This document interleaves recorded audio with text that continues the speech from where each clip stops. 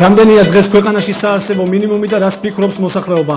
საკმარისია თუ არა ერთსულ მოსახლეზე 157 ლარი და 30 თეთრი მაშინ, როდესაც ქვეყანაში სიღარიბეა. ეს თოქ-შოუ დღის თემაა მე ჟურნალისტი ალეკო გეთიაშვილის საღამო მშვიდობისა. რამდენად რეალურია საარსებო მინიმუმი, რომელიც სტატისტიკის ეროვნულმა სააგენტომ ჯანდაცვის სამინისტროს მიერ მიწოდებული ინფორმაციის მიხედვით დაიანგარიშა. საკმარისია თუ არა ერთსულ მოსახლეზე გათვალისწინებული 157 ლარი და 30 თეთრი, რას ფიქრობს მოსახლეობა? 114 ლარი, კი არა, 180 ლარიც არა ყოფნის. სეზონი რომ შემოვიდა გურაბი და რაღაცის 9.60 იყო შაქარი 2.20 გახდა რაღაცა. საარსებო მინიმუმის სიმცირეს აპროტესტებს ანალიტიკოსი ეკონომიკის საკითხებში ირაკლი თედორაძე. დღეს დღის თემაში რამდენად შეესაბამება საარსებო მინიმუმი ქვეყნის ეკონომიკურ შესაძლებლობებს და როგორ შეუძლია სახელმწიფოს ამ პრობლემის გადაჭრა ირაკლი თედორაძე განმარტავს.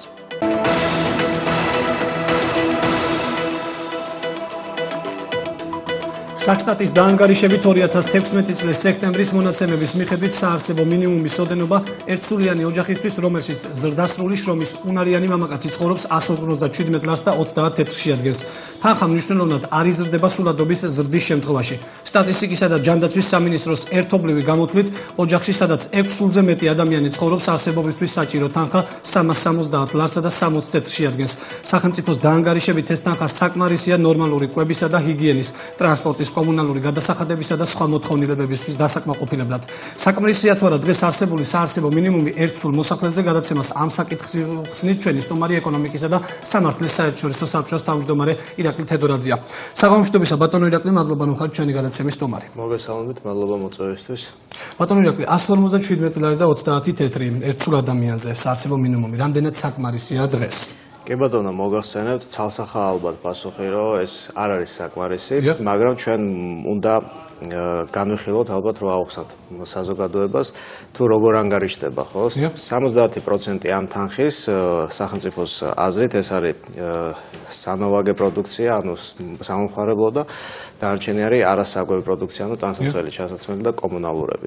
რაც შეეხება გათვლის მეთოდიკას დასულ მამაკაცზე ის ითვლება 2300 კილოკალორიით და მე ამასაც არ ვეთანხმები რადგან ჩვენ ვიცით რომ საშუალოდ თითოეული ადამიანი მოიხმარს 2800 კილოკალორიას დღეში hoje. რა თქმა უნდა ასევე ეს კალათა გაზრდილი არის მაღალკალორიული პროდუქტების ხარჯზე როგორც არის პური და კარტოფილი გამომდინარე აქედან დღესდღეობით მე კიდევ ერთხელ გავამეორებ რომ სირცხვილი არის ქვეყანაში რომელიც ევროპისკენ ასოცირ ევროპისკენ ასოცირებისკენ მიისწრაფის ჰარმონიზაციის რეჟიმში ვართ გადასული ყველაფერი გადასახადები იქნება ფასები იქნება ქვეყანაში მიდის ზევით ხოლო საარსებო მინიმუმი სახელმწიფოს აზრით 157 ლარის საკმარისია მით უმეტეს ეს საარსებო მინიმუმი არის სტრატეგიული ციფრი გამ გამომდინარე აქედან ითვლება შემდგომ sapensio იქნება თუ სხვა სოციალური დახმარებები, რადგან თუ სახელმწიფო მიიჩნევს, რომ ადამიანისთვის საკმარისია 160 ლარი, ესე იგი მიახლოებით 160 ლარი ის შემდგომ სოციალური დახმარების პაკეტები იქნება თუ sapensio პაკეტები იქნება გათვლის აქედან გამომდინარე. რეალურად დღეს რამდენი უნდა იყოს საარსებო მინიმუმი, რომ ადამიანმა თქვა დავიარჩინოს? კი ბატონო, მე მოგახსენებ, გავიცანეთ სხვადასხვა ქვეყნების პრაქტიკებს, იგივე არის სიტუაცია თქვა მინიმალური ხელფასის ოდენობა, ხო? ევროპულ ქვეყნებში ძალიან ბევრში ეს არის 1501 ევრო. რასაკვირველია საქართველოში ესეთი ხელფასი სიტუაცია თქვა და ესეთი საარსებო მინიმუმი ჯერ შორი პერსპექტივა, მაგრამ სამნახევარჯერ მეტი, ანუ 500 ლარამდე საარსებო მინიმუმი ეს არის ის მინიმუმი, რასაც დღეს ადეკვატურად ფასებთან მიმართებაში ადამიანმა შეიძლება უზრუნველყოს თვით გადარჩენის რეჟიმში ცხოვრება. მაშინ სათხედავთ აქ შეცდომას, ანუ რატომ დაიანგარიშა საქსტატმა ასეთ საარსებო მინიმუმი? რა არის თავარი პრობლემა?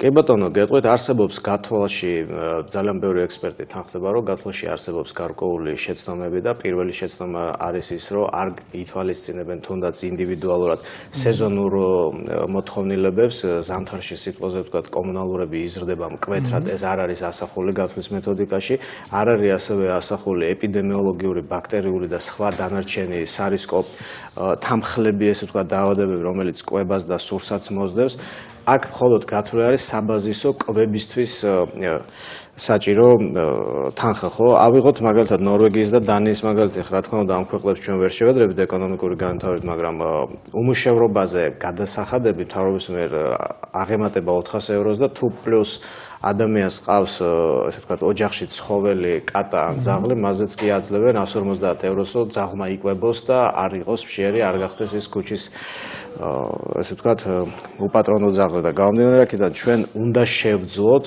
და უნდა გადავამუშაოთ საარსებო მინიმუმის გათვლის წყარო და პლუს ეს რა თქმა უნდა შემდგომ ამან უნდა გამოიწვიოს შემდგომ პენსიების იქნება და სხვა სოციალური დახმარებების ზრდა. მით უმეტეს გამომდინარე იქიდან რომ ეკონომიკის სამინისტრო ანონსებს რომ ქართული ეკონომიკა წლითი წლით იზრდება, საქართველოს არის აღმავლობის რელსებზე დადგა და ანონსდება ძალიან ბევრი საინვესტიციო იქნება თუ შიდა მოდინების პროდუქტები. მაშინ სახელმწიფოს როლი რა უნდა იყოს აქ? რატომ არ აკეთებს თქვა აი ამას? რატომ არ მიდის იქამდე რომ თქვა გაიზარდოს საარსებო მინიმუმი? რატომ არ აკეთებს? ნამდვილად ძნელია ამის თქმა, მაგრამ ერთ-ერთი შეიძლება იყოს მოსაზრება, რომ შემდგომ მას მოუწევს პენსიების მკვეთრის და ასევე სოციალური დახმარებების მკვეთრის და შეიძლება არ აქვს სურვილი, ან შეიძლება ბიუჯეტს რომ ამის საშუალება აქვს ეს ნათელია, გამომდინარე იქიდან, რომ ჩვენ ხედავთ დანამატები იქნება თუ სხვა წახალისებების საჯარო მოხელეების მიერ საკმაოდ მაღალია, ხელფასებიც ესე რომ ვთქვათ არ დაიწუნება. გამომდინარე აქედან ეს არის პოლიტიკური ნებავა და მე ვიმედოვრებ რომ მართველი გუნდი უკვე დაწყარებულ საარჩევნების შემდგომ ეტაპში დაიწყებს ხალხისთვის და ზოგადად სოციუმისთვის აქტიურ პრობლემებზე მუშაობას და საარსებო მინიმუმი არის ის ზუსტად ტკივნეული და საჭირო თემა, რომელიც სახელმწიფომ და ეკონომიკურმა გუნდმა მოაგვაროს. აი პენსიების ზრდა ახსენეთ და ამასთან დაკავშირებით კითხავთ, მხოლოდ ამ თქვა დანამატებით, პრემია დანამატების მოხსნით და ხელფასების დაკლებით შეიძლება პენსიის გაზრდა თუ არის დღეს სახელმწიფოში იმის რესურსი, რომ გაიზარდოს პენსია კიდე?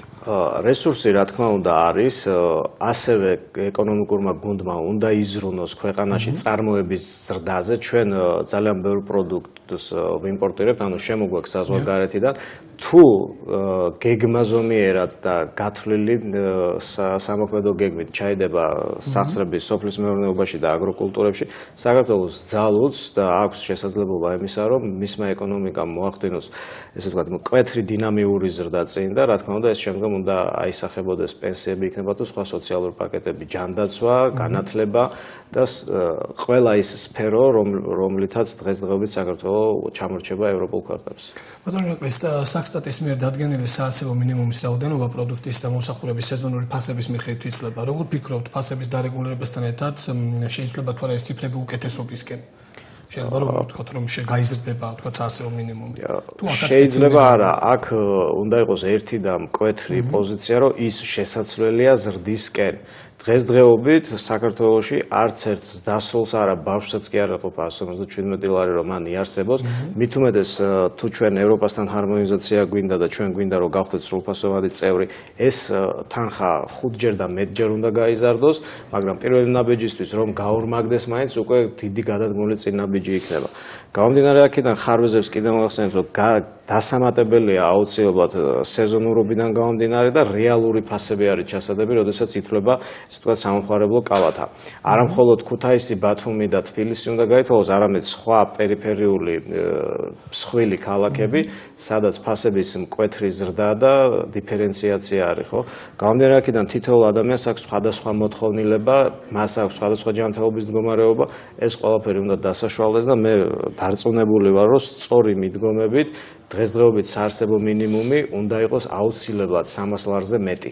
დღესდღეობით მონაცემებით, მაგრამ ნელ-ნელა თუ კი ჩვენ ნებისმიერი ფასის ზრდას ან გადასახადი იქნება, გამკაცრება იქნება თუ სხვა ეკონომიკური ესე ვთქვათ, ინდიკატორი იწვება და ამას ფუძედ ედება ევროპასთან ასოცირების ხელშეკრულება, ევროპასთან ასოცირების ხელშეკრულება ჩვენ ასევე გავალდებულოს მოაწესრიგოთ ჩვენი სოციალური მხარე, ეკონომიკური მხარე და თითოეულ ადამიანს კონდეს საშუალება განვითარდეს მისთვის ჰარმონიულ და არასაზიანო გარემოში, რასაც დღეს საარსებო მინიმუმის ოდენობა პლუს პენსიები იქნება თუ სხვა სოციალური პაკეტები არ უზრუნველყოფს. გარდა დღევანდელი ამ საჯარო განცხადებისა, თუ თქვათ მიმართეთ იგივე ჯანდაცვის სამინისტროს ან საქსტატს, ანუ გააცანით თუ არა თქვენი ეს ჩამოყალიბებული აზრი როგორ უნდა გაიზარდოს, თქვათ საარსებო მინიმუმი. მოგახსენოთ, მე პირადად ესეთი შეთავაზება არ გამიკეთებია, მაგრამ საკმაოდ ბევრი კვლევა და საკმაოდ ბევრი რეკომენდაცია დადებული ექსპერტების მიმართ, მაგრამ ჯერჯერობით გამოხმაურება ხანდახან სასაცილოც კი არის, როდესაც 4 ან 5 ლარით გადაიხედება ხოლმე საარსებო მინიმუმი. გამომდინარე აქედან მე კიდევ ერთხელ ხაზს გავსვამ და ვიმედოვნებ, რომ ქართველი ხალხის არჩევანი, რომელიც დაფიქსირდა 8 ოქტომბერს, აი ერთ-ერთი დაკვეთა ალბათ იქნება ხალხის და მე ამას დარწმუნებით ვიტყვი რომ არის დაკვეთა რომ საარსებო მინიმუმი პენსიები და სოციალური პაკეტები ანუ სოციალური ფონდი სახელმწიფოში გაუმჯობესდეს. წინასაარჩევნო დაპირებებში არ ქონია ქართულ ოცნებას თქვა რომ აი წინასაარჩევნო თქვა იმაში გაიზრდებოდა საარსებო მინიმუმი ესეთი ის არისო და თუმ გაქვთ თქვა ფიქრობთ რომ აი ხალხის დაკვეთა იყო ასეთ რომ გაზრდილიყო თქვა იგივე საარსებო მინიმუმი და მოგვარებულიყო ეს სოციალური ქართული ოცნების დევიზი სწრაფი განვითარება ზუსტად მოიაზრებს განვითარებას სოციალურ მხარეს და ეკონომიკის. ხო თუ ქართული ოცნება შეძლებს განავითაროს ეკონომიკა და საქართველოსში დაიწყოს ეკონომიკური აღმავლობა, საარსებო მინიმუმი არის მიბმული ამ პროცესებზე და მე ვიმედოვნებ, რომ ისინი ამას აცნობიერებენ, რომ დღესდღეობით 157.3 ლარი ეს არის სამარცხვინო ლაქა და თანხა საქართველოსში და საქართველოსთვის მით უმეტეს, როდესაც ჩვენ გვაქვს აღებული კურსი ევროპის. ისინი 4 წელი იყვნენ ხელისუფლებაში, არ გაზრდილა ხო მაშინ ან ეს დარჩა ასე რომ აი ახლა რამდენად არის იმის მოლოდინი და რამდენად სწორად აქვს გათვლილი ის პროგრამა, სწრაფი განვითარება, რომ მოგვარდეს ეს სოციალური პროგრამა, რამდენად ჯერათ იმის რომ მოგვარდება და იმ პროგრამაზე რაც მათ წარმოადგენს ეკონომიკური. მოდით რამდენად ჯერა მე ამაზე თავს შევიკავებ, მაგრამ როგორც ანონსდებოდა და ჩვენ არ გვაქვს უფლება ალბათ დღეს ვინმე გავაკრიტიკოთ ამ ხრივ, იმიტომ რომ სხვა სხვა მიზანია კამ გადაცემას, ხო? ისინი ყოველთვის ამბობდნენ, რომ სხვა პრობლემები დაძლიეს. მე ვიმედოვნებ, რომ ის სხვა პრობლემები თავიდან დასაძლევი აღარ იქნება და უკვე გადავალთ რეალური მუშაობის რეჟიმში, რაც გულისხმობს აი ეკონომიკის ზრდას, სოციალური ფონის გამოსწორებას და პლუს ჯანდაცვის ძირეულ რეფორმას, რადგან დღესდღეობით მართლა ძიმე სურათი არის, შეიძლება ამას ბევრი ვერაცნობიერებს, რომ სოციალური ფონი საქართველოში არ შეესაბამება იმ ევროსტანდარტებს, რომლებსაც ჩვენ მივისწრაფეთ. თუ გაქვთ ინფორმაცია სხვა პარტიებს თუ ქონდათ იგივე ამ საარსებო მინიმუმის გაზრდასთან დაკავშირებით წინასაარჩევნო ჩადებული პროგრამაში რა კი ბატონო, მე მოგახსენებ, თავისუფალ დემოკრატებს ქონდა ესეთ დაპირება მინიმუმი ხელფასი 500 ლარი, მინიმუმი პენსია 300 ლარი, ეს ალბათ თავის თავში გულისხმობდა ასევე საარსებო მინიმუმს, იმიტომ რომ როგორც ვიცით, საარსებო რეალური იყო, ვთქვათ, მინიმუმი მინიმალური ხელფასი 500 ლარი. საკმაოდ რეალური რეალისტური თანხაა გამომდინარე იქიდან, რომ დღეს არ უჭერს საქართველოს ეკონომიკას ისე, რომ ესეთი მიზერული და სამარცხვინო ციფრები დაფიქსირდეს საარსებო მინიმუმად. კიდევ ერთხელ ვიმეორებ, სომხეთი რო სომხეთია და სხვა ჩვენი პოსტსაბჭოური ქვეყნები, რომელსაც იგივე ისტორია აკავშირებს თუნდაც ახლო წარსულში, ბევრჯერ მეტია. და ბევრჯერ უზრუნველყოფილი არიან საზოგადოება ვიდრე დღეს ეს ჩვენთან არის. ზოგადად ეკონომიკური მდგომარეობა რომ შევაფასოთ ქვეყანაში როგორია ფონი დღეს ეკონომიკური? ეკონომიკური ფონი ოფიციალური მონაცემებით გვაქვს 3.3 მეათედიანი ზრდა, თუ არ ვცდები.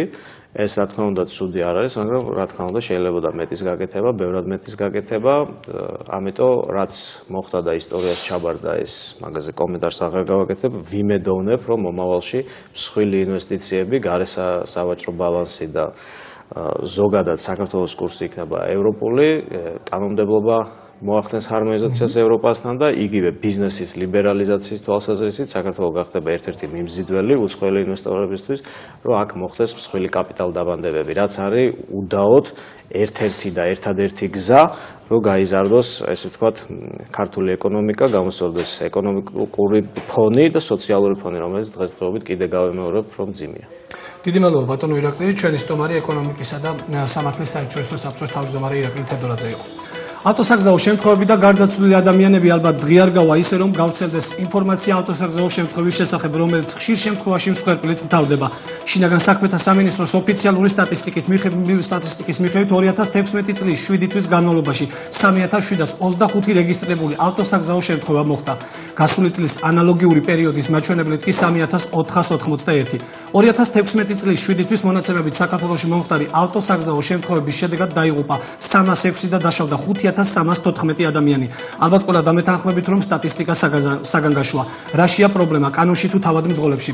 გადაცემის მეორე ნაწილში ჩვენ გახშირებულ ავარიებზე ვსაუბრობთ. ჩვენი სტუმარი საქართველოს ალიანსი უსაფრთხო გზებისთვის გამგეობის თავმჯდომარე ეკალალიაშვილია.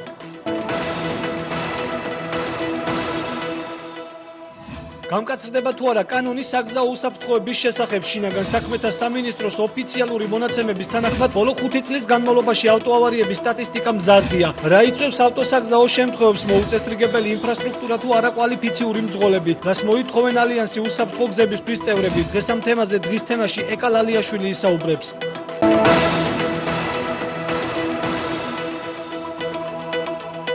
საგამშვიდობისა ქალბატონიკა მადლობა რომ ხართ ჩვენი განაცემის სტუმარი. ქალბატონიკა სტატისტიკა რომელზეც მე ახლა ვსაუბრობდი ეს დამეთანხმებით ალბათ რომ საგანგაშოა რაშია პრობლემა დღეს კანონმდებლობაში თუ თავად მძღოლებში. მოგესალმებით, დიდ მადლობას მოგახსენებთ მოწვევისთვის. პრობლემა არის ძალიან კომპლექსური, როგორც მძღოლებში, ასევე კანონმდებლობის აღსრულებაშიც. აა გარდა ამისა, პრობლემა არის ჩვენს ინფრასტრუქტურაში და ასევე იმ გაუმართავ ავტომობილებში, რომლებიც მოძრაობენ ჩვენ დედაქალაქის თუ სხვა ქალაქების მასშტაბით. მოგახსენებთ, რომ ზოგადად ყოველდღიურად ხვდებით ჩვენ საგზაო გუშინაც მომწრე ვიყავი ამ საგზაო შემთხვევისაც კოსტავას ქუჩაზე მოხდა ქვეც დაიჯახა ავტომობილი. პრობლემა არის იმაში რომ ძალიან მოშვებული არის ეს სისტემა რომელიც ქმნის იმ განცდას და რეალურად ქმნის იმ შტაბეჭდილებას რომ დარღვევებზე ხდება რეაგირება დარღვევებზე ხდება ჯარიმების მისვლა იმ დარღვევების მძღოლებისთვის და პრაქტიკულად მივდივართ იქამდე რომ ძალიან შეუქცევადი ხდება ეს პროცესი. უკვე ალბათ ყველა ავლაპარაკდით იმაზე არა მხოლოდ ორგანიზაციები, რომლებიც ამ მიმართულებით მუშაობთ, არამედ თითოეული მოქალაქე, მეტყვი ყოველას გვეხება, ყველანი დიდი ნაწილი უკვე მომსწრენი ხვდებით ამ ფაქტების, ჩვენი ახლობლები ხვდებიან საგზაო შემთხვევებში, ცნობადი სახეები ხვდებიან და მასმედია პრაქტიკულად უკვე ყოველდღიურად აშუქებს ამ სამწუხარო ამბებს, ამიტომ რაღაც უნდა გავაკეთოთ, რაღაც უნდა მოვიმოქმედოთ. მე მოგახსენებ თქვენ სტატისტიკა თქვენ ძალიან კარგად გაუსვით ხაზი 7 თვის მონაცემებს 10%-ით არის გაზრდილი საგზაო შემთხვევათა რაოდენობა წინა წლის 7 თვის მონაცემებთან შედარებით. ანუ ტენდენცია მზარდია. ამ შემთხვევაში ჩვენ ბევრს საუბრობთ ამ საკითხზე, მაგრამ მოქმედება მაინც ხელისუფლებაზეა და ძირითადად ის ინტერვენციები, რომელიც შეუწყობს ხელს შეამციროს საგზაო შემთხვევები, უნდა გაატაროს ჩვენმა ხელისუფლებამ. რა არის აქ გამოსავალი? გამოსავალი არის აი ეს უახლოეს პერიოდში, რაც მნიშვნელოვანია და ძალიან სწრაფი ნაბიჯებით შეიძლება გაკეთდეს. ჩვენ ფოკუსირებული ვართ კანონ პროექტზე, რომელიც რამდენიმე თვის წინ იქნა პარლამენტში ინიცირებული შინაგან საქმეთა სამინისტროს მიერ. მოგახსენებთ, რომ ეს კანონმდებლობა მოიცავს ძალიან მნიშვნელოვან პუნქტებს და შემოთავაზებებს, როგორიც არის უკონტაქტო პატრულირება და ქულათა სისტემა. აი ეს განწყობა, რაც აუცილებლად აღინიშნოს, რომ გამომწვევი მიზეზები არის სიჩქარის გადაჭარბება და არასწორი მანევრირება. პრაქტიკულად აი ამ ორ ორი წამყვანი მიზეზის გამო ჩვენ ძალიან ბევრი ადამიანი გვეღუპება ხდება წლის განმავლობაში. არის სხვადასხვა ფაქტორები სასაკვირველია, მაგრამ ესენი მაინც წამყვანია. ჩვენ ამ ორი მიზეზის შემცირება შეგვიძლია თუ იქნება ქულათა სისტემა რომელიც პირდაპირ კავშირში არის იმასთან, რომ წლის განმავლობაში ვინც დაარღვევს რამდენიმე დარღვევა, ვისაც ექნება, უკვე დადგება დიღის წესრიგში მართვის მოწმობის კვლავ გადაბარების საკითხი. Mm-hmm. რატო არის ეს მნიშვნელოვანი? აქ აი როდესაც გაჟღერდა ეს საკითხები, ძალიან ნებათა ღელვა გამოიწვია საზოგადოების, მაგრამ საქმე იმაშია, რომ ჩვენ აი ამ კანონით და ამ კონკრეტული შემოთავაზებით მძღოლებს კი არ ვებრძვით, არამედ იმ კონკრეტულ 25%-ს მძღოლებისა, რომლებიც არიან ძალიან უხეში დამრღვევები, რომლებიც არიან პოტენციური მკვლელები და რომლებიც არიან ძალიან დიდი ხიფათის მომტანი ქუჩაში. ჩვენთვის პატიოსანი მძღოლებისთვის. შეგახსენებთ, რომ დაახლოებით მილიონზე მეტი ავტომობილი მოძრაობს და თქვენ შეგიძლიათ თქვათ, რომ თქვა და მილიონი ადამიანის 25% არის აი ესეთი აგრესიული მძღოლები. მაგრამ რას გვერდჩიან ჩვენ? აი ეს კანონი მორჩილ და პატიოსან მძღოლებს, რომლებიც ჩვენს გზაზე მივდივართ, ხო? სწორედ აქეთკენ არის მიმართული ეს კანონმდებლობა და არა ის რომ თქვათ ტაქსის მძღოლები, რომლებიც ყოველდღიურ რაღაც შემოსავალს. აბსოლუტურად არა. ჩვენ ყველა ვართ ადამიანები, ყველა ვარღვევთ შემთხვევით თუნდაც დარა გამიზნულად, მაგრამ კანონი, ეს კანონ პროექტი მიმართულია იმ ზღოლებზე, რომლებიც არათუ შემთხვევით, არამედ გამიზნულად არღვევენ, გადაიხდიან ჯარიმას, მათ არა აქვთ. ფულის გადახდის პრობლემა და ფინანსური პრობლემები არა აქვთ, მათ აქვთ სახსრები, რომ გადაიხადონ დარღვევები და კვლავ იყვნენ უფლებამოსილი მძღოლები. აი, ასეთ აგრესიულ მძღოლებს ებრძვის ეს კანონ პროექტი.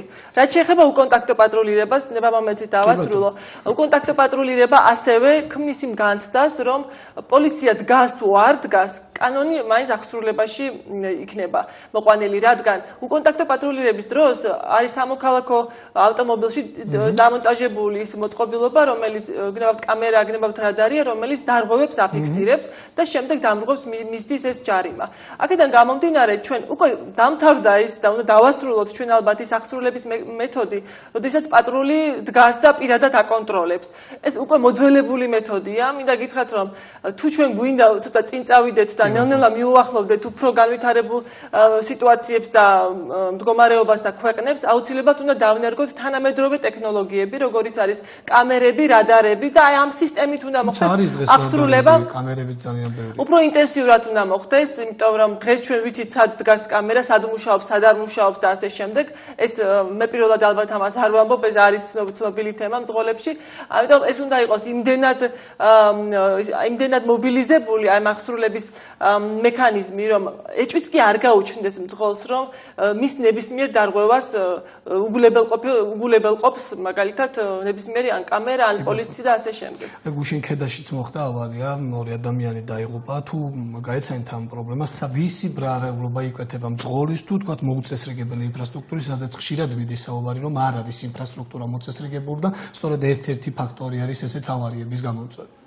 საქმე იმაშია, რომ ჩვენთან აღიძრება ხოლმე საქმე და პრაქტიკულად საბოლოოდ ჯერ წინასწარ ასაკურველია ვერაფერს გეტყვით, მაგრამ არის ერთი მუხლი 276, რომლის მიხედვითაც აღიძრება ხოლმე ეს მუხლი.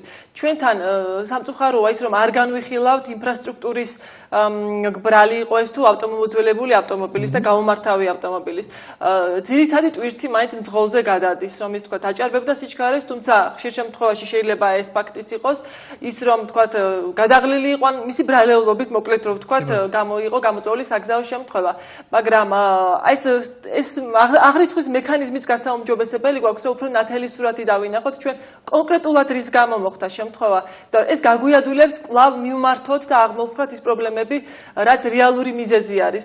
და არ დავადანაშაულოთ მხოლოდ მძღოლი იმიტომ რომ რასაკვირველია შეიძლება იყოს გამომართავი ავტომობილის ბრალი. რეაგირება შესაძლოა მძღოლმა დროულად მოახდინა მაგრამ იმის გამო რომ არ იყო იგივე სამკრუჭე სისტემა გამართული, თქვა ვერ მოხდა თავიდან აცილება საგზაო შემთხვევის.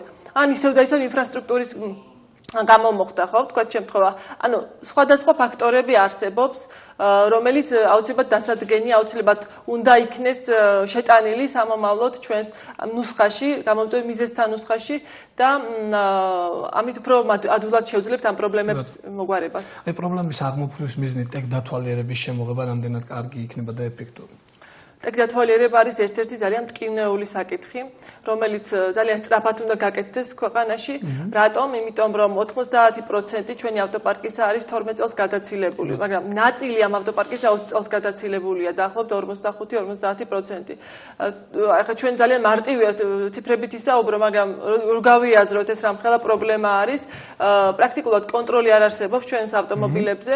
გარდა იმისა, რომ თქვათ, გამონაბოლქვია და ეს ძალიან საშიში, სასიცოცხლო საშიში არის ყოველდღიურად ჩვენ რას ვსუნთქავთ, პრაქტიკულად არ ვიცით. ასევე საგზაო შემთხვევების ერთ-ერთი ხელშემწყობი ფაქტორი არის. ამიტომ ტექ დათვალიერება აუცილებლად უნდა გაკეთდეს.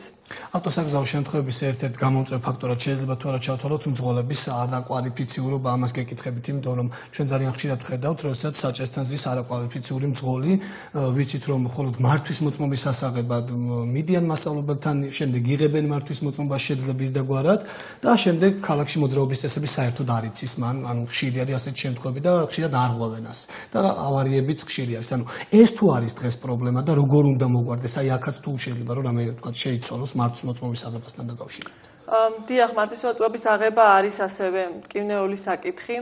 საუბრობთ ბევრს იმაზე, რომ პრაქტიკულად შესაძლებელია აი ყველაფრის სწავლა, მაგრამ პრაქტიკაში ამის განხორციელება არ არის თლად მარტივი. განსაკუთრებით ისეთ ქალაქებში, როგორიც თბილისია, ყველა ქაოტურად დადის და პრაქტიკულად ის ახალბედამძღოლი თვით ამაბნეველია, თუნდაც ის ის არასწორი მანევრი, რაც გვერდით მძღოლმა გააკეთოს. ამიტომ ეს გამოცდილება არის მძღოლობა, მეტი სირთულე ჭირდება რასაკვირველია პრაქტიკის კუთხით, იგივე გამოცდის ჩაბარებას და გასამკაცრებას შესაძლებელი არ არის აუცილებელი, იცით, რომ ყველა მძღოლი იყოს. აი ეგ არის ჩვენი პრობლემა, რომ ყველა სურს ავტომობილის შეძენა. მაგრამ საიდან მოდის ეს მოთხოვნა? რეალურად სხვა ალტერნატივა არ აქვს. საზოგადოებრივი ტრანსპორტი გვჭირდება იმისთვის, რომ ავტომობილები გავაჩეროთ ან აღარ გქონდეს სურვილი, ხო? ყველა სტუდენტს უნდა ყავდეს ავტომობილი. ყველას, ვისაც ოდნავ შემოსავალი აქვს, უნდა ყავდეს პირადი ავტომობილი. ეს არ არის ჯანსაღი პროცესი და ამაზე ხელისუფლებამ უნდა იფიქროს. ამ პროცესის მართვა შეიძლება ხელისუფლების მხრიდან და განავითაროს საზოგადოებრივი ტრანსპორტი, რომელიც პრაქტიკულად უგულებელყოფს იმას, რომ ავტომობილები აღარ გამოვიყენოთ თუნდაც ყოველდღიურ რეჟიმში. ეს მოთხოვნა ზუსტად იქიდან მოდის, რომ რეალურად რთულია თუნდაც ქვეითებისთვის ფეხით გადაადგილება, რთული არის საზოგადოებრივი ტრანსპორტის სარგებლობა.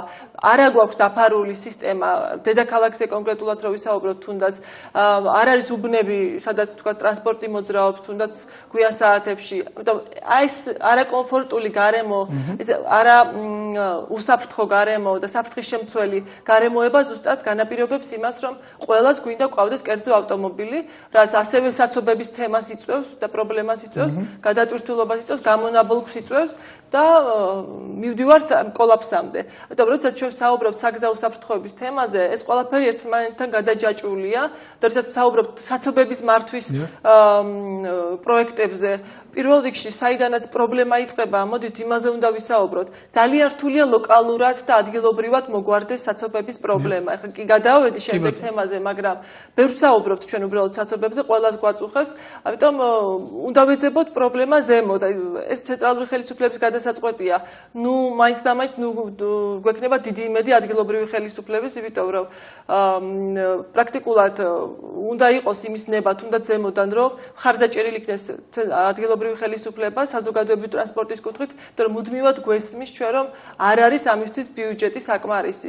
და თუ ჩვენ დავითვლით რეალურად აი ამ ავტომობილების ჭარბი რაოდენობით რა გამონაბოლქვს თქო თუ დავითვლით რამხელა პრობლემებს გვქნით ჩვენ ფინანსურ ჭრილში გადავიყვანთ ჩვენ ამ ყველაფერს ნამდვილად ვიტყვით რომ ჩვენ გვჭირდება ტრამვაი, ჩვენ გვჭირდება ეკოლოგიურად ცუთა ტრანსპორტი, გვჭირდება ელექტროავტომობილების ახალისება და ნამდვილად გვიღირს, რომ რაღაც დათმობები გავაკეთოთ, თუნდაც გამბაჟების კუთხით, მაგრამ სამაგიეროდ მივიღებთ ჯანსაღ გარემოს, ჯანსაღ ადამიანებს და უფრო ცხოვრების უკეთეს ხარისხს, ვიდრე დღეს გვაქვს. ანუ თუ დაემატა, თქვა საზოგადოებრივი ტრანსპორტის შემოვიდა იგივე ტრამვაი, როგორ ფიქრობთ, ანუ საცობები აღარ იქნება, ანუ გააჩერებს, თქვა მოქალაქეები მანქანებს გააჩერებენ და ესე მარტივად დათმობენ საკუთარ ავტომობილს კი იგივე კომფორტს და საზოგადოებრივ ტრანსპორტში გადაჭდება და იმით იმგზავრებს? ეს არის აბსოლუტურად დროის საკითხი. რადგან ვერ არ ვერ გეტყვით და ნამდვილად არ ვიტყვი იმას რომ დღეს თუ ეს გაკეთდა ხვალ აუცილებლად მოგვარდება პრობლემა ან ყველა დათმოს მაგრამ ეს არის პროცესი ეს არის ასევე ინფორმირება და განათლება ჩვენი საზოგადოების განათლება ცოტა უხეშად უფრო ინფორმირება გულისხმობ იმას რომ თუ ჩვენ საზოგადოებას დავარწმუნებთ და ნამდვილად ასე არის რომ იგივე იმ ერთი ავტომობილის გაჩერებით და საზოგადოებრივი ტრანსპორტით გამოყენებით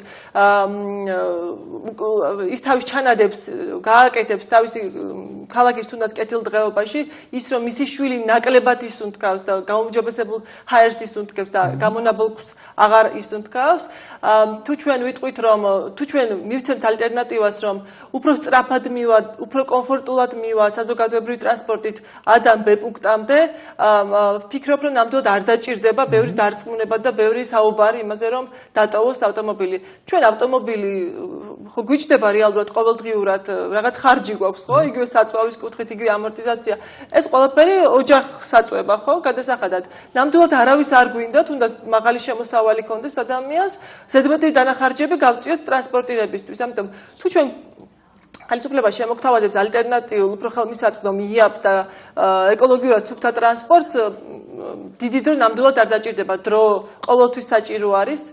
საზოგადოებას რო გავერკვეთ უნდა მივცეთ ამის დრო რომელი ჯობია მაგრამ ამ შემთხვევაში დღეს არ გვაქვს ეს ალტერნატივა. ამიტომ ხვალ შესაქმნელია. კი ბატონო როგორც მახსოვს თქვენ ალიანს ქონდა ესეთი აქცია რომ ერთი დღე მოქალაქეებს მოწოდეთ დაეტოვებინათ ავტომანქანების სახში ამ გამოიღო შედეგი ამ აქციამ ეს იყო ერთჯერადი აქცია, ეს იყო გლობალური თარიღი, რომელსაც ჩვენ შეუერთდით და მცდელობა იყო, თქვა კიდევ ერთხელ გაგვეშღერებია ამის შესახებ.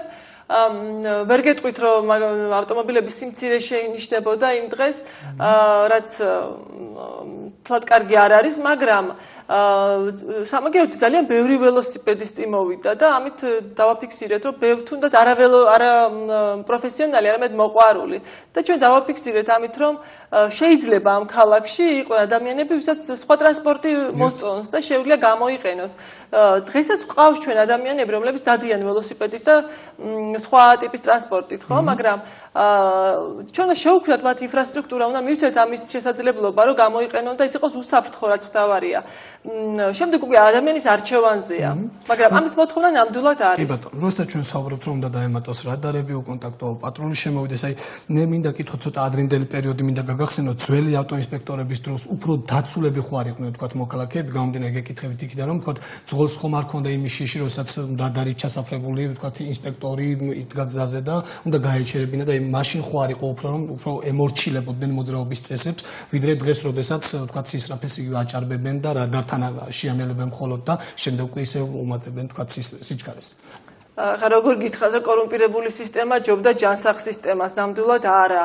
იქ არ იყო საუბარი დარღვევაზე თქვათ ძველ დროში ხო? იქ იყო საუბარი მართლა ჩასაფრებული პოზიციიდან.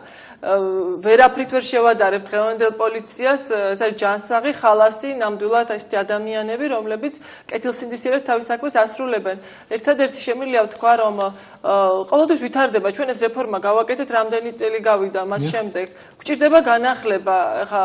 ადამიანი ადამიანური რესურსი შეიძლება არ იყოს ყველა ტიპის დარღვევას, ხო? გარდა საგზაო შემთხვევებზე რამდენი კრიმინალური ისტორია შეიძლება მოხდეს და ყველას ჭირდება, ხო? საპატრულოს ჩარევა, მაგრამ ჩვენ არ უნდა არც უნდა ვიყოთ პატრულებზე დამოკიდებული ამ შემთხვევებზე, უნდა ვიყოთ თანამედროვე ტექნოლოგიებზე დამოკიდებული, როგორც ხდება ეს საქართველოში დაახლოებით 4 მილიონი ადამიანი ცხოვრობს, მაგრამ არის ქალაქები, არა ქვეყნები, სადაც სამჯერ და 4ჯერ მეტი ადამიანი ცხოვრობს, ხო?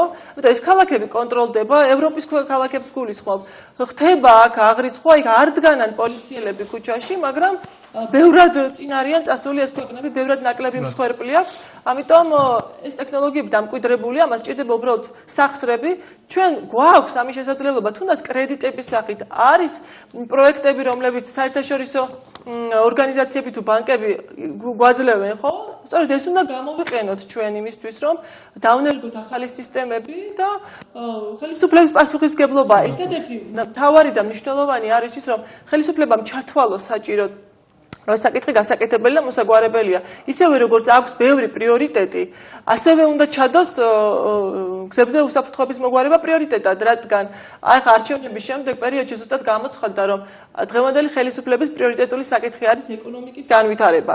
და აუცილებლად შეგახსენოთ და შევახსენოთ ჩვენს მაყურებელს და ხელისუფლებას, რომ ეკონომიკა ვერ განვითარდება გადაადგილების გარეშე და მობილურობის გარეშე და მისი ერთ-ერთი უმნიშვნელოვანესი საკითხი უსაფრთხოება, ხო?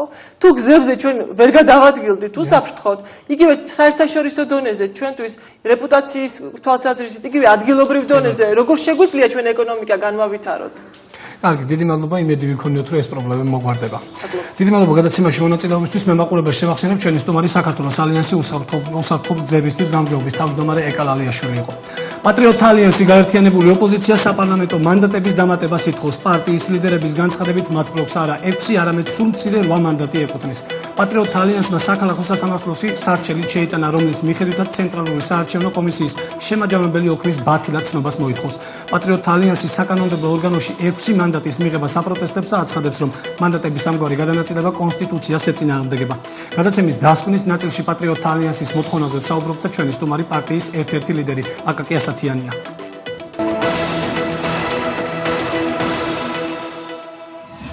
მეცხრე მოწვევის პარლამენტში შესული მესამე ძალა არჩევნების შედეგებით უკმაყოფილოა, რას აპირებს პატრიოტთა ალიანსი და რა გეგმები აქვს უკვე საპარლამენტო ოპოზიციას. დღეს დღის თემაში პატრიოტთა ალიანსი გაერთიანებული ოპოზიციის წევრი აკაკი ასათიანი პარტიის გეგმებზე და მიზნებზე ისაუბრებს.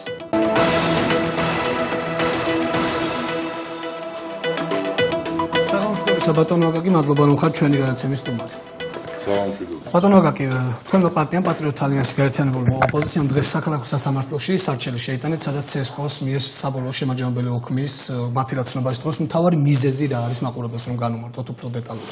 მანამდე შეიტანილი იქნა საკონსტიტუციო სასამართლოში საჩივარი უბრალოდ განმარტების მოთხოვნა იმის თაობაზე რომ ეს რაც არის ძალიან არ შევაწყინოთ თავი მაყურებელს იმდენი ჩახლართული დეტალი ეგ ძალიან მარტივად წერია შავი თეთრზე კონსტიტუციაში რომ 5%-ს ვინც გადაახავს პარტიები პარლამენტში, მათზე ჯერ ნაწილდება დარჩენილი, ხო? ისინი ხო ზუსტად არავსებენ 100%-ს. სხვა პარტიები, რომლებიც ვერ გადაახავენ, იმათი დარჩენები მე ნაწილდება შესულ პარტიებზე და აი რომ გადანაწილდება, ამაზე ამათზე ყველაზე ნაწილდება ეს სამი იქნება იქნება 4 იქნება 5 იქნება და თუ გადანაწილების შემდეგ ვერ შეივსება ფრაქციისთვის საჭირო რაოდენობა მე მოაკლებათ ზედა ორ პარტიას თუ რამდენიც იქნება და რომელსაც დააკლდება ის შეივსება ანუ წერია რომ ჯერ ნაწილდება ის ნაშთი იმ პარტიებზე რომლებიც გადალახავენ 5%-ს და მე შედის ძალაში ფრაქციის შევსების წესი. მაგრამ თავის დროზე სააკაშვილის დროს ისე მიიღეს რომ თუ გადალახავს 5%-ს მაგრამ 5% გამოდის 77-ის პირობებში სამნახევარი და ცოტა მეტი მას შეევსება 6 დეპუტატამდე ანუ ფრაქციის რაოდენობამდე და მორჩა. მე გადანაწილებაში აღარ მონაწილეობს. ეს შეიცვალა საარჩევნო კოდექსში ეს საარჩევნო კოდექსში ანუ კონსტიტუცია ვიცი ჩვენ უმაღლესი კანონია ყველა კანონზე ზემდგომი და კოდექსში შეტანილი ცვლილება არანაირად არ დგას მასზე წინ და ამიტომ უნდა აღსრულდეს კონსტიტუციის მოთხოვნა. ყველა შემთხვევაში მე მგონი საკამათოც კი არაფერია და მე შეიძლება ლაპარაკი იყოს თქვათ რამდენად შეივსება და რამდენი დაემატება კიდევ პარტიას. ამ ცენტრალურმა საარჩევნო კომისიამ გამოდის რომ იხმეძღვანა საარჩევნო კოდექსის მიხედვით და კონსტიტუცია არ გაითვალისწინა. ხო, ბუნებრივიც არის, არც მეკვრის, ხო, საარჩევნო კომისია და კოდექსი უდებს და ძირითადად ამ კოდექსით ხელმძღვანელობს, მაგრამ კონსტიტუცია არსებობს. აქამდე ამის საჭიროება აი ამ განმარტების არ ყოფილა. ისე ხდებოდა ხოლმე. ჯერ ერთი ორმა პარტიამ გადალახა 2012 წელს. იმის წინ იქნა მიღებული ეს გასწორება და ამ ასეთი არ დამდგარა ამის საჭიროება. იმ ორმა გადაინაწილა, რაც ნაშთი იყო დარჩენილი. შუა გაიკრიფოს რომ იძახო ერთი კაცი. აი ეს ამბავი მოხდა. ეხლა მოხდა პირველად. თქვათ ყოფილიყო ხუთი პარტია, ექვსი პარტია, ან ფრაქცია იყოს 10 კაციანი, ხო? დავენებოთ ყველაფერს დავი. უბრალოდ წერია შავით თეთრზე კონსტიტუციაში ვინც დაინტერესდება ამ მუხლით წერია პირდაპირ ჯერ გადაინაწილებენ 5% გადალახულები და მე თუ რომელიმეს დააკლდება, ну მესამეს ბუნებრივია ფრაქციისთვის საჭირო რაოდენობამდე დეპუტატთა რიცხვი ივსება მაშინ აი ფრაქციის რაოდენობამდე. ჩვენ დღეს ცესკოსაც მივმართეთ ამ საკითხით, თუმცა ჩვენთან კომენტარი არ გააკეთეს. თქვენ თუ გქონდათ პარტიას მათთან რაიმე, ვთქვათ, დისკუსია ამ თემაზე და რა პასუხი მიიღეთ? ჩვენი წარმომადგენლები ესეუბრებიან, მაგრამ პასუხი მათგან ჯერჯერობით არ არის, აი ესეთი კონკრეტული რომ იყოს. არ ვიცი, ნუ ხო, ისეთი ცხადი ჭეშმარიტება ეს კონსტიტუციური ნორმა, რომ არ ამგონია მათ ქონდათ პასუხი, რომ თქვათ ასე არ არის ერთი, ან თქვან რომ კოდექსი მეტია ვიდრე კონსტიტუცია. რა მოლოდინები გაქვთ საკონსტიტუციო სასამართლოს მიმართეთ, სახალხო სასამართლოს ამ სასამართლოსგან რა მოლოდინები გაქვთ? რა საკონსტიტუციოსგან რა მოლოდინები უნდა გქონდეს? წერია შავი თეთრზე მეორე. რამდენჯერმე საკმაოდ ისეთი, ნუ საზოგადოებისთვის უსიამო უნდა თქვა თან საკამათო საკითხზეც კი საკონსტიტუციო სასამართლო მიიღო გადაწყვეტილება კონსტიტუციის აი ნორმის დაცვით. ნუ მაგალითად ოლქები რომ დაიყო მაჟორიტარული, გათანაბრდა რა, დაახლოებით 45000 უნდა გამხდარიყო საშუალო და ამან გამოიწვია უცნაურობები, როცა რაიონებს კი არ ყავს წარმოადგენლები, არამედ აგერ ხუთი რაიონი გაერთ გაერთიანდა და დასავლეთ საქართველოს მთიანეთის რაჭა, ლეჩხუმი და ორივე სვანეთი.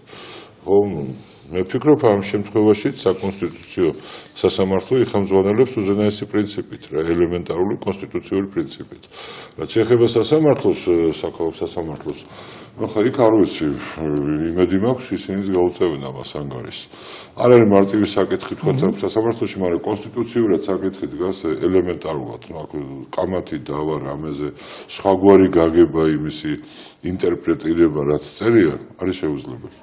ეს 17 მანდატი რაზეც საუბრობ თქვენ როგორ წარმოგიდგენთ როგორ უნდა გადანაწილებულიყო რა პრინციპით და ვის რამდენი მანდატი უნდა შეხვედროთ და ცესკოს მონაცემებით სამი პარტია ხართ. ქართული ოცნება ნაციონალური მოძრაობა და 6 თქვენ 5 და დანარჩენებს 6 დიახ ასე ამ შემთხვევაში მაგრამ თუ კიდევ ძალაში იქ გადაანგარიშება ხდება რაც სასამართლოშია შეტანილი სავა 10-მდე 10-მდე აბა რაოდენობა მაშინ ანუ 6 კაცი გაიზრდება უკვე თქვენი პარტიის გაიზრდება დიახ იმიტომ რომ თუნდაც მარტივად სამნახევარზე მეტია მაინც 4 გვალდება ამის სასარგებლოდ ხოლმე ხო?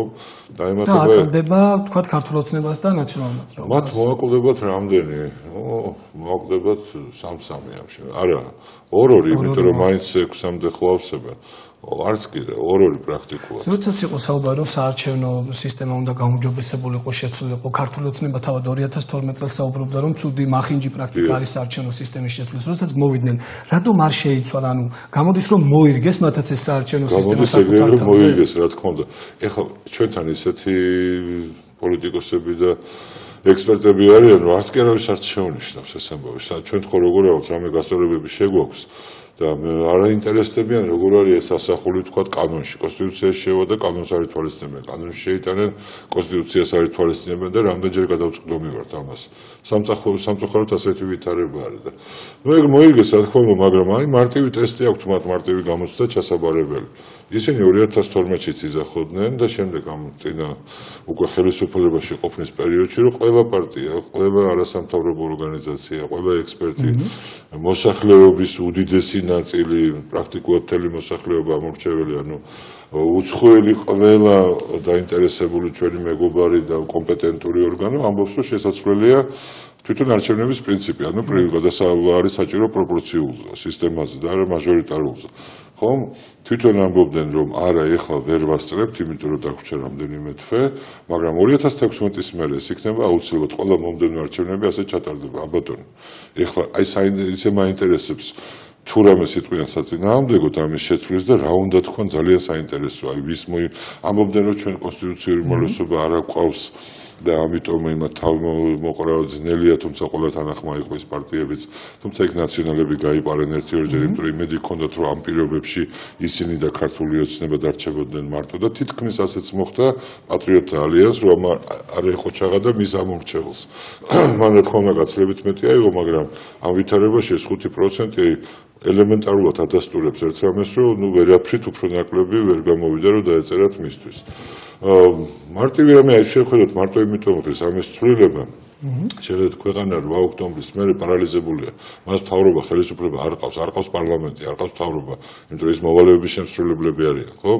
არ ყავს პროპორციული შემთხვევაში სამ დღესზე მეც არ გასტანდა. აი ელემენტარული დავანებოთ ყველაფერს თავი ეს არგუმენტები თუ რატო ჯობია პროპორციული მაჟორიტარულს დიდი ხნის ჩამოთვლილია და დიდი ხნის ახსნილია და არავინ ამაზე არ კამათობს არ დავს მაგრამ აი დღევანდელი ვითარება კიდევ ერთხელ გვიჩვენებს პროპორციული სისტემის უპირატესობას. ნუ დავით ახანმორავით საუბრობდა საარჩევნო სისტემის ცვლილებაზე სწორედ ამას გულისხმობს ეს დავით ახანმორავი მე ვფიქრობ აი ხუთი ისეთი განცხადება გავაკეთა მიმამ ხუთი გზავნილი რომელიც ახლა მეტი ახლა კონსტრუქციული რა უნდა იყოს ოპოზიცია ხო ლაპარაკია იმაზე, რომ მოწესრიგდეს სახელმწიფოში ერთხელ და სამუდამოდ საარჩევნო პრობლემები, რომ ამით კი არ ვიყოთ დაკავებული, რა ხდება მარნეულში, ჯიხაშკარში, ხო თქვა, ირღვევა, არ ირღვევა, გაყავდა, არ გაყავდა, მაჟორიტარების მეორე ტური, იქ საჩივრები და ორი თვე გამოდის ქვეყანა წყობიდან. არის უამრავი პრობლემები ჩვენი ქვეყნის გარშემო და ქვეყნის შიგნით. და ამაზე უნდა ვიყოთ ყველანი კონცენტრირებული და რა რაღაც სისულელეებზე პრინციპში. ერთი არჩევნების შედგება, მეორე დღეს შედეგები ცნობილი იქნება, ორი დღე გასაჩივრებისთვის დაჭირდება, ხუთ დღეში ჩაეტევა ეს ყველაფერი ხუთ სამუშაო დღეში. და ჩვენ ახლა კიდევ ახლა 30-ში ჩატარდება. ერთი ორი კვირა წინა გვაქვს, მაგრამ კიდე სიამოვნება შუა ნოემბრამდე. და ეს ნორმალური ამბავია, ეს საინტერესოა. აი თუ გადავიდა პროპორციულ სისტემაზე და ჩატარდა არჩევნები პროპორციულ სისტემაზე, ეგ საკონსტიტუციო უმრავლესობასთან დაკავშირებით როგორ იქნება, უნდა შევიდეს სიკაცულება რომ 113 ხმა თუ ნაკლები მოუწევს შემდეგ ყველა. არა, 150-დან აი იანგარიშება საკონსტიტუციო ვერ იქნება ვერაფრით პროპორციული სისტემის შემთხვევაში საკონსტიტუციო უმრავლესობა. მე არ უყურებ მას ასეთ კატასტროფად როგორც ხვები აღიქვამენ. აიღო სრული პასუხისმგებლობა ქართულმა ოცნებამ, თუნდაც იმისთვის რომ ერთგვარი გამოსთა ჩააბაროს, აი რასაც ამბობდა. ეს ხომ ის დაპირება არ არის რომ აგაშენებ ვიყენებთ რა ეკონომიკურად. ეს არის ნუ ხარჯი და დრო ამას უნდა დაახლოებით 2-3 ხრომა ხო? ორ სამ კვირაში საპარლამენტო კვირაში და ხარჯი არის ამისი აი ეს გახალდი რაც არის თქვენი რომ დაიბეჭდო 150 საათ ისიც პირობითად ყოველას ეწოდება რაზეა ლაპარაკი. ელემენტარული ნება და პატიოსნება. საჭირო მეტი არაფერი რასაც ამბობდი ის გააკეთო არა?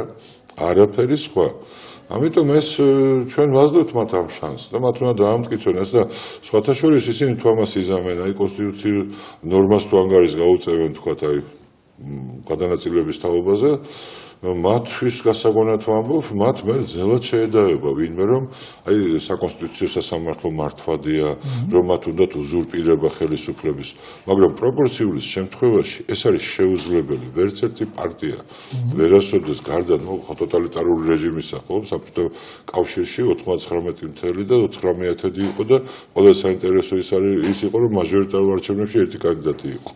ნუ თუ გვინდა დაბრუნდეთ, თუ არა და ასე ვიაროთ. მე ვერ წარმომიდგენია სიტუაცია 60%-ამდე ავიდეს პროპორციულ არჩევნებში რომელიმე პარტია ნორმალურ ვითარებაში. ეს არ არ მომხდარა და ვერ მოხდება რაც მთავარია. ამიტომ თუ ვინმე სამის ეშინია ხო, ანდა რა მანდა მაინც საკონსტიტუციო უმრავლესობა უნდა კონდეს რომ რამე გააკეთო. კაი მე მესმის ეხლა შეიძლება რაღაც საკითხები თუნდაც აი ეს საარჩევნო სისტემის შეცვლა იყოს საჭირო და თუ ამისთვის გამოიყენებენ, ეს გასაგები იქნება. ახლა თუ სხვა რამისთვის აპირებენ გამოყენებას, როგორ არის? შეიძლება ერთი მიიღონ, ორი მიიღონ, მაგრამ ეს მე კატასტროფით თავდება.